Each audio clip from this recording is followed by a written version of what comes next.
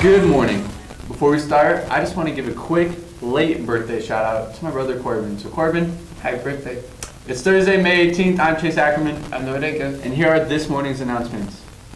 There'll be a Spanish festival tomorrow with games, food for sale, and a DJ and a live band. What? $5 from 4 to 7, $8 from 7 to 10 p.m. Should be lots of fun. Mucho gusto, Mucho. por favor.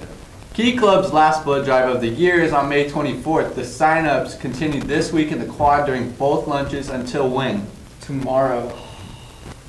The last Heritage High Dance Team trials are today and tomorrow at 3:30 p.m.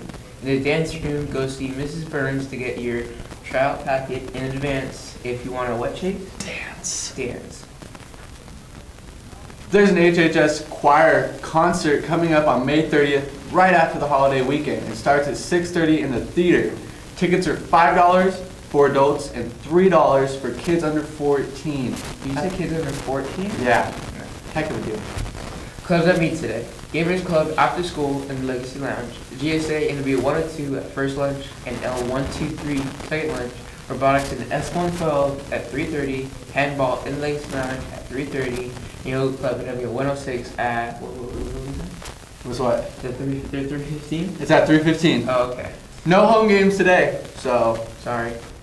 Well, that's all we have time for today. We'll be back tomorrow with a lot more good, what, what, what? information. Oh, okay, information.